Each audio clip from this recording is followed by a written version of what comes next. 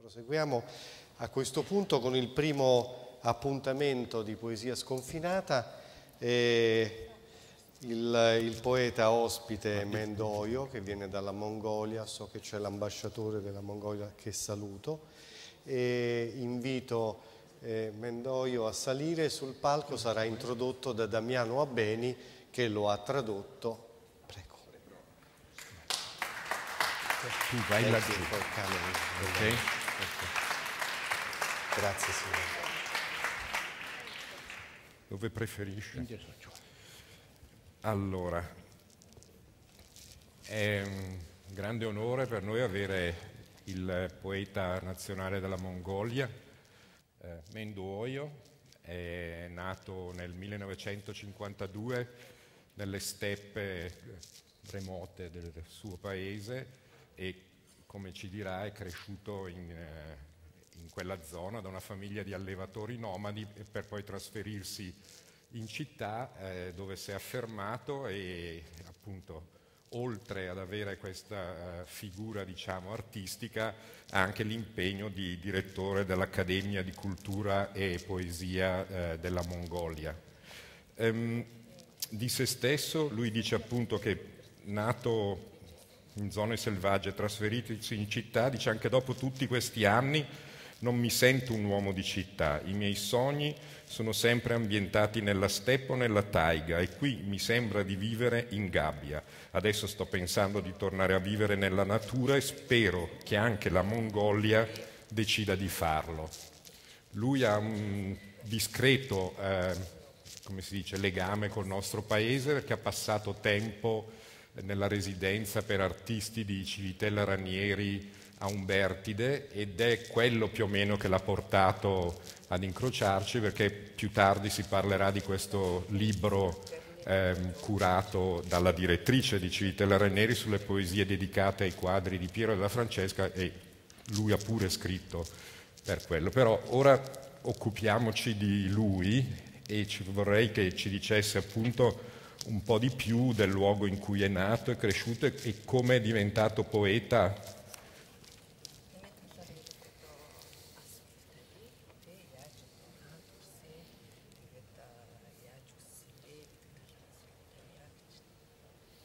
За баярлалаа. За би бол Монголын одоо дорнод хээр тал нүд алдам хээр тал нутагт төрсөн. Бараг одоо уул бараг харагдахгүй тийм мэлтийсэн тал яг л далай донд байгаагаар төсөөлж ажиллах гэж болно. Sono nata nella eh, mensa steppa della Mongolia, come il mare. Монгол гэрт төрсөн. А эмэг ээж минь намайг их барьж авсан. Sono nata a Gher e mia nonna che è stata ha fatto vedere il mondo, sì. Нүүд чинь л амьдралын тэр донд төрсөн дөө. Ma le storie di cui ci diceva, che sentiva favole, өмнө таны ярьжсэн түүхийн талаар хэлнэ үү гэнэ. Sono nata nella famiglia di un pastore nomade e cresciuta nella sella um, di cavallo immensa steppa della Mongolia. Quel periodo non esistevano tecnologie, quindi eh, l'unico trattamento erano favole storia del nostro pubblico e popolo.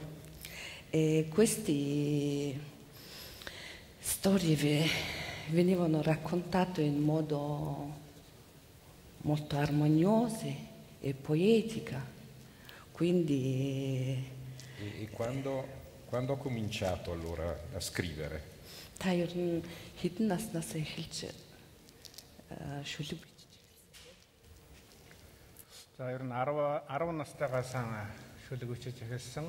13 таа байхад миний анхны шүлэг явагдсан.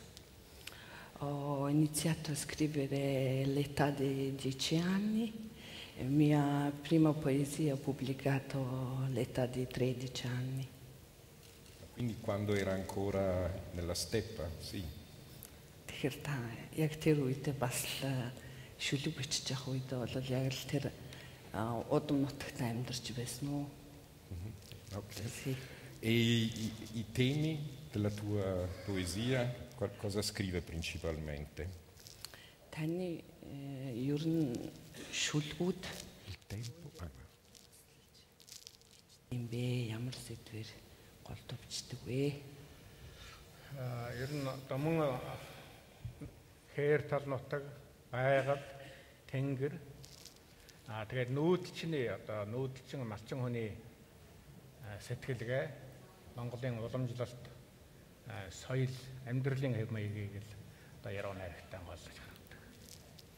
La mia poesia si basa con la vita dei pastori nomadi del popolo, e nostra cultura, e storia dei miei antenati, e esprime la melodia di ricchezza della lingua e la società nomade.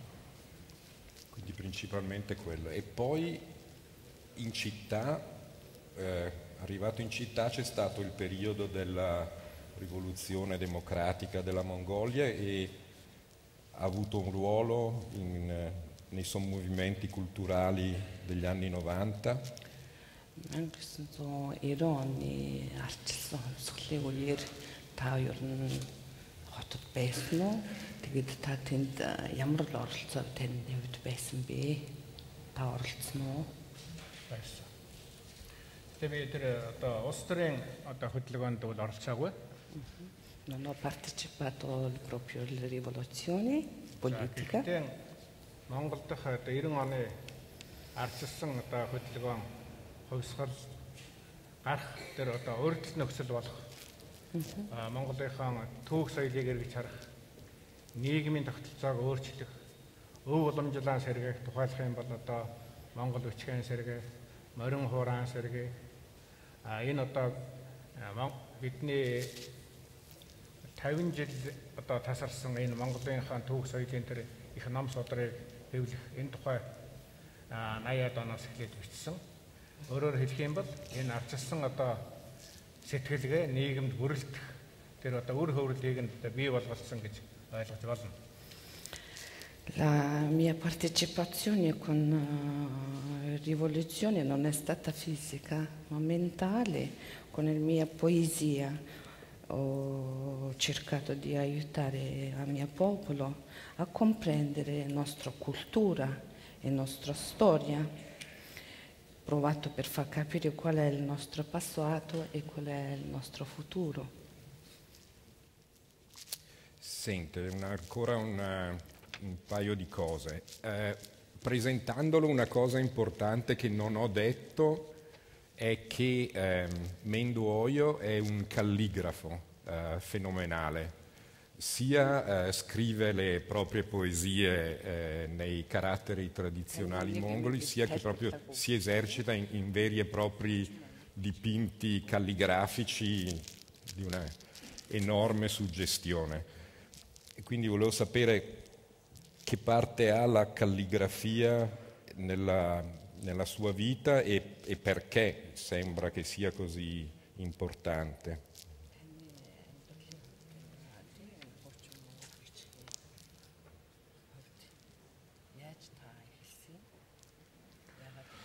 Тэгээ миний аав бол одоо малчин хүн л дээ. Тэгээд э, одоо малдаан дагуулад явна. Өвөл талд их сайхан ингээд битүү гоё шин цас орцсон цасан дээр ингээд дэрсээр ингээд Монгол өвчийн цагаан толгойг аав минь надад заасан. Eh, la mia papà è un pastore, mi insegnava calligrafia antico mongolo sulla neve con le bacchetta. Аа сургуульд ороход бол Монгол өвчиг биш ийм одоо гэрэл гэрэл өвчиг одоо заасан. All'epoca a scuola insegnava non in antico calligrafia mongolo, eh, insegnava in cirillico.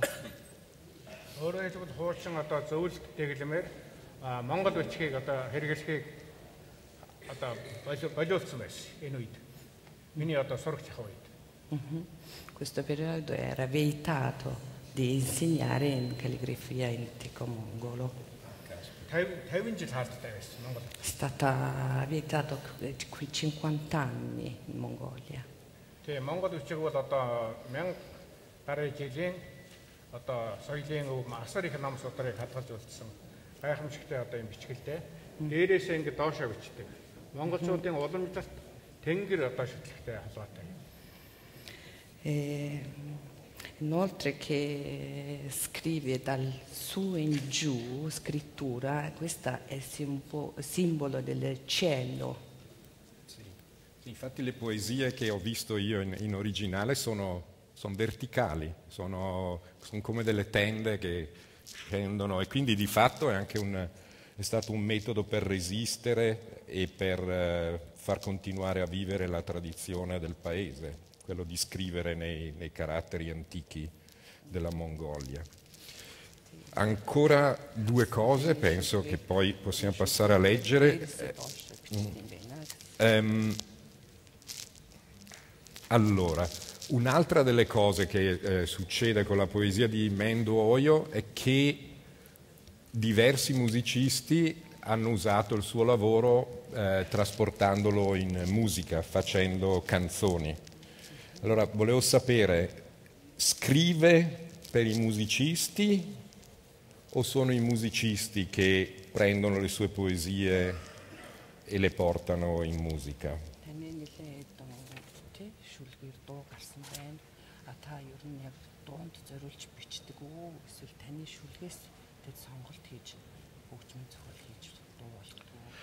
Тий аль аль нь байгаа. За зарим хөгжмийн зохиолчдод миний шүлгэнд аялгаа оруулсан байдаг. За бас одоо хөгжмийн зохиолч нар аа, захиалга өгч одоо бичүүлсэн явдагч вэ? Аль аль нь байгаа л гэж. E tutti e due, alcuni prendono le mie poesie e scrive le musica. E alcuni pure chiedono di fare scrivere alcune poesie per la musica. Quindi scrive appositamente per, Sì. per i musicisti. E un'ultima cosa, appunto, arrivato a Ulan Bator, come, come è diventato così famoso? Com'è stata la carriera, diciamo? Энд э, сүлд нас хот та ингээд э, Улаанбаатарт ирээд а ер нь яаж та ийм алдартай нэртэй хүндтэй болсон юм бэ? За ярил их урт түүх болно. Тэгээ энэ бол одоо олон жилийн түүх ярих болно. Тий. Гэхдээ би одоо ч бас нэг их хадаа алдартай болсон гэж өөрөө бол одоо бодохгүй л байна. Юма бичээд хийгээд нийтлүүлэл байдаг. Тэгээ одоо уншигчдээ маань хүрээ өдрөөс өдөрт нэмэгцээр байдаг баяртай байдгаа гэж.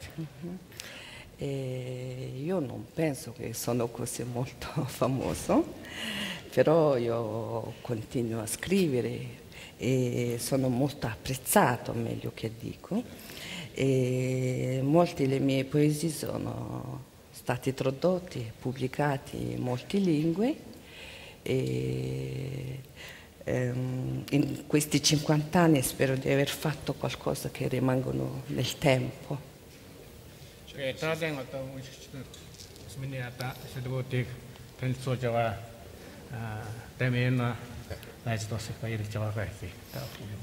Voglio ringraziare il signor Damiani che sta leggendo mie poesie in poeti italiani qui in Italia.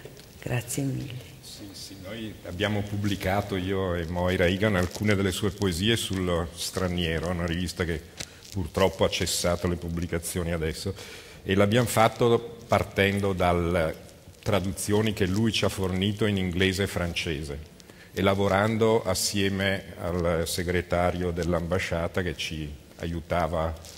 Eh, Quindi è stato un lavoro abbastanza strano e, e complicato e atipico, però adesso ne vedrete, ne vedrete qualche esempio qui. E, mm, insomma, è diventato famoso perché è bravo e perché è veramente una voce del, del suo paese. Se vuole andare a leggere, cominciamo.